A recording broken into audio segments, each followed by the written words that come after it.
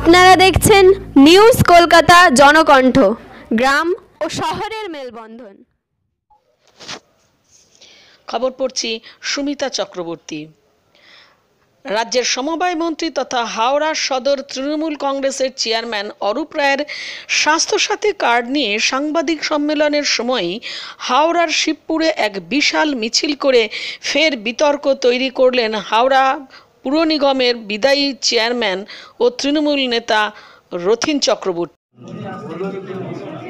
स्वास्थ्य साथी कार्ड सबको दिया जाए সালে জানুয়ারি ফেব্রুয়ারি মাসে এখন পর্যন্ত প্রায় দেড় কোটি পরিবারে সাত লক্ষ মানে সাড়ে সাত সাড়ে সাত কোটি মানুষ এই প্রকল্পে নিজেদের নাম নথিভুক্ত করেছে বেসরকারি হাসপাতালে একজন পাঁচ লক্ষ টাকা পর্যন্ত বিনামূল্যে চিকিৎসা করাতে পারবে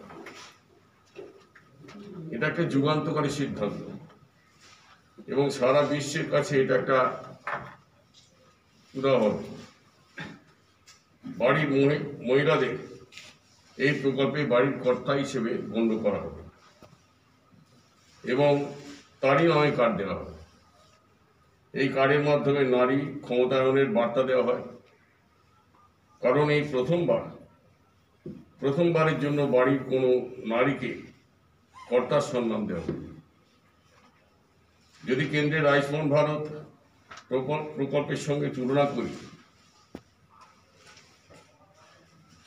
ষাট পয়েন্ট চল্লিশ ষাট ইস চল্লিশ অনুপাত রাজ্য সরকারের খরচ দেয়।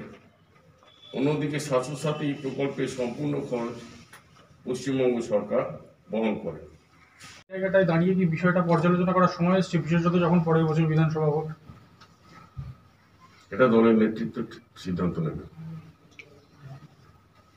দলের উচ্চ নেতৃত্ব সিদ্ধান্ত। তোলা কর্মীদের কাছে তো ভুল বার্তা যাচ্ছে। দলের মধ্যে যদি এইভাবে দ্বন্দ্ব চালু হয় বালিতে হয়েছে অথবা বালিতে বিধায়ক এনেছে কাউন্সিলর মুখ খুলেছে। মাইকাটা মিছিল বেরোচ্ছে জরুরি। দাদা আজকে একটা মধ্য হাওড়া তৃণমূল কংগ্রেসের নামে তারা একটা মিছিল করছে। এখানে আপনি একজন মধ্য হাওড়ার বিধায়ক আপনি মন্ত্রী। সেখানে আপনার কোনো ইনভাইটেশন নেই বা আপনাকে এই মিছিলের এই মিছিল কোনো মানে অনুমতি নেই। মিছিলকে দল অনুমোদন দেয় না। এবারে বিক্ষিপ্তভাবে মিছিল হচ্ছে। শুনেছি আমি। এটাকে দল অনুমোদন দেয় না। আপনি কি এটা বিষয় নিয়ে উচ্চ দলকে জানাবেন? এরকম ভাবে তো একটা ভুল বার্তা যাচ্ছে মানে গোষ্ঠী কোন্দলটা সামনে চলে আসছে। দলের পক্ষ থেকে রাজ্যকে জানানো হয়েছে। দলের পক্ষ থেকে জানানো হয়েছে। রাজ্য এটা দলের পক্ষ থেকে রাজ্যকে জানানো হয়েছে। এটা কাদের নেতৃত্বে হচ্ছে এটা কারা? আপনি এটা কিছু দলের নয় কিছু বিক্ষিপ্ত বিক্ষিপ্ত কিছু কর্মী তারা করছে। এরা দলের কেউ না। এরা। দলের অনুমোদিত নয় এটা বলছি। দলের কেউ না কে বলল কখন বললাম? তৃণমূল মুখ থেকে বার করে নেবে। আমি দলের অনুমোদিত নয়। এটা। অর্থাৎ জটুলাহির যে বক্তব্য ছিল গতকাল আপনি তো হাওড়া জেলার চেয়ারম্যান আপনি কি ব্যক্তিগতভাবে তার সাথে কথা বলবেন বিষয়টা নিয়ে? আপনি কি জটুবাবুর সাথে ব্যক্তিগত স্তরে কথা বলবেন বা যেহেতু আপনি আমার কথাবার্তা হয় এই ব্যাপারে কথা বলতে নিশ্চয়ই সেক্ষেত্রে উনি পাঁচবারের বিধায়ক এতদিনের একটা বিধায়ক। কি মনে হয় যে বরফ গলানো সম্ভব? তার মধ্যে যে ক্ষোভটা তৈরি হয়েছে সেই বিষয়টা সম্পর্কে? সেটা তো পরে ভবিষ্যৎ বলবে।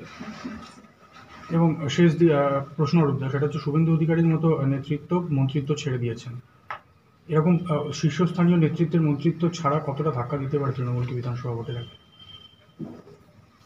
ভবিষ্যৎ মানবিক মূল্যবৃদ্ধি এই জনবিরোধী নীতি সমস্ত ভারতীয় সমাজকে ছিন্ন বিচ্ছিন্ন করে দিচ্ছে। আমরা মনে করেছি মাননীয় মুখ্যমন্ত্রী যে প্রতিবাদের ভাষা রচনা করেছেন সেই আওয়াজ তাতে তাল তাল মিলিয়ে হাজারো হাজারো তৃণমূল কংগ্রেস কর্মী সাধারণ মানুষ এখানে সমবেত হয়েছে। আমরা চাই সেই আওয়াজ যেন দিল্লি পর্যন্ত পৌঁছয় এবং এই অমানবিক নীতির পরিবর্তন হয় এবং কৃষি নীতি যেটা বিপণন হয়েছে অত্যন্ত বিপজ্জনক সেটা ভারতবর্ষের পক্ষে। তার বিরুদ্ধে আমাদের এই আজকের এই সমস্ত কর্মসূচি। দেখুন, আমাদের নেত্রী মাননীয় মুখ্যমন্ত্রী মমতা বন্দ্যোপাধ্যায়, তার জন্য হাজার হাজার মানুষ সকলে আমরা সমবেত হয়েছি। আমাদের এখানেতে আজকের মিছিলেতে যেভাবে তারা সমবেত হয়েছেন আমরা মনে করেছি সেই মিছিল আমাদের ভাষাকে পৌঁছে দিতে পারবে সেই জন্য আমাদের আজকের এই মিছিল। কিন্তু বলা হচ্ছে যে এই মিছিলটা বিক্ষুব্ধদের মিছিল এটা দল অনুমোদন করছে না। আমরা কোনো জিনিস অনিয়মভাবে করি না। সমস্ত জিনিসকে আমরা আমাদের উচ্চ স্তরের কাছে পৌঁছে দিয়েছি। সমস্ত কিছু তাদের সম্মতি জ্ঞাতার্থে নিয়ে করে আমাদের এই আজকের মিছিল কোনো আমাদের কোনো দিক থেকে কোনো অসুবিধা আপনি মাননীয় মুখ্যমন্ত্রী মমতা বন্দ্যোপাধ্যায়ের সবাই আমরা সহকর্মী আমরা কেউ বিক্ষুব্ধ নয় আমরা সবাই তার অনুগামী। এটি হচ্ছে একমাত্র সে আপনারা সেটা বিচার করবেন আইনের ভয়। সেই সঙ্গে ফের শুরু হলো রথিনরূপের ইগোর লড়াই। যদিও রথিন চক্রবর্তীর মিছিলকে দল অনুমোদন করেনি বলে মন্তব্য করেছেন Arup Roy. Bureau report, news Kolkata.